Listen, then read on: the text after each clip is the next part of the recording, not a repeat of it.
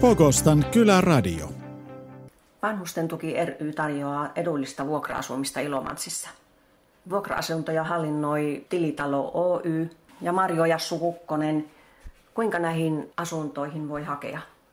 No meitähän voi lähestyä vaikka soittamalla tänne tilitalolle, joko minulle tai tuohon meidän ihan tuohon keskusnumeroon ja tuota, sieltä sitten niin kuin ohjataan eteenpäin, eli sitten kysellään vähän, että minkälaista sitä on se tarve ja tuota, sitten niitä pääsee katsomaan ja mm, sitten jos se tuota, asiakas kokee, että tämä on hyvä kohde ja tämä on nyt just se sopiva, niin sitten siitä tehdään vuokrasopimus. Meillä on kovin niin kuin matala se kynnys, eli tuota, ja toki sähköposti on toinen vaihtoehto, mutta yleensä se on tuo puhelin, millä sitten sitä yhteyttä otetaan.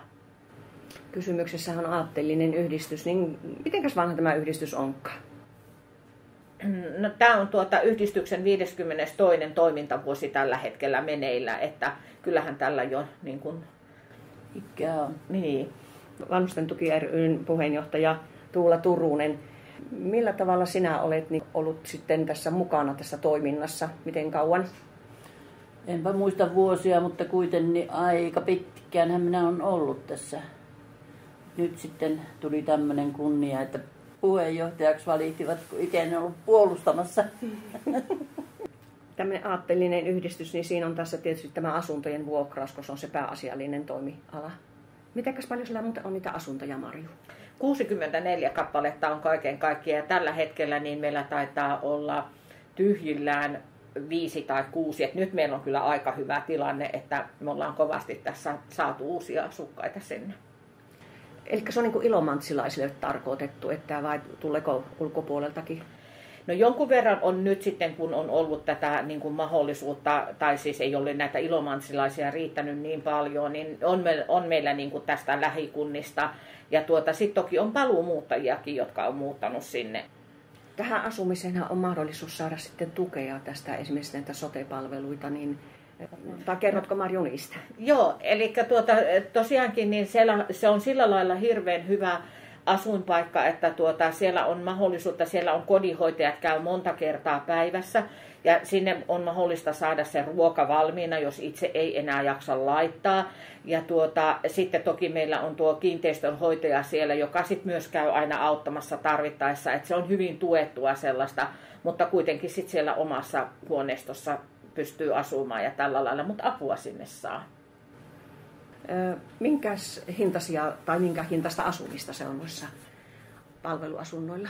No se on kyllä tosi edullista, että tuota, tällä hetkellä on 12 euroa 15 senttiä per neliö, ja nehän lähtee tuolta 26 neliöstä ja 55 neliöiset on suurimpia, ja kun siihen hintaan, sit siihen sisältyy sähkö, vesi, lämpö, aivan kaikki saunamaksut. Siihen ei tule mitään muuta, kun se on, se on pelkästään se, niin se on todella edullista asumista. Tukeeko kunta millään tavalla tätä yhdistystä? No kuntahan ei tue tätä millään tavalla muuten, paitsi sitten kun meillä on sitä lainaa siellä, niin kunta on sitten niin kuin takaajana siinä niissä lainoissa. Tuohon asumiseen liittyen, niin tuota jo kerroitkin Marjunuesta, että miten sinne voi niitä hakemuksia jättää. Eli hakemuksen voi tuoda tänne teille ja hallitusko se sitten käsittelee tämä yhdistyksen hallitus vai missä te päätätte sitten nämä vuokralaisten ottamiset? No se päätetään ihan täällä meillä, eli minä sen päätöksen sitten teen. Ja toki sitten niin kuin hallitukselle kerron, että ketä tänne on otettu ja sillä lailla, mutta että kun se on monta kertaa, että voi olla, että tänään tulee hakemus, niin sitten jo ylihuomenna tarvitaan se asunto, niin siinä ei oikein sitten, että sen takia sitä ei pitkitetä, että se käytettäisiin ensin hallituksessa, koska eihän hallituskaan nyt ei hirveän useasti kokoonnu aina, niin näin se menee, että sinne pääsee tosi nopeallakin aikataululla sitä asumaan, että jos esimerkiksi kotiutuu sairaalasta eikä sitten pysty enää menemään sinne, sinne omaa kotitaloon tai muuten, niin se on tälleen. Joo.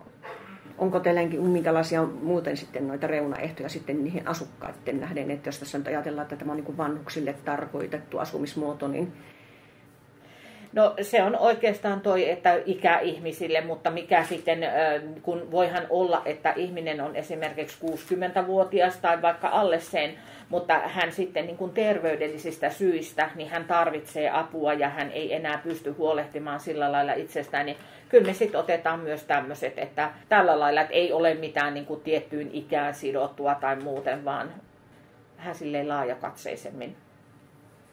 Ja sinun siis Marju Jassu Kukkonen voi ottaa yhteyttä, jos tarvitsee tällaista vuokra-asuntoa ja edullista vuokra-asumista. Kyllä, ja ylipäätään tänne tilitalolle, niin tuohon meidän tuohon keskusnumeroon soittamalla, niin kyllä täällä meistä kaikki tietää ja tällä lailla pääsee asiassa eteenpäin.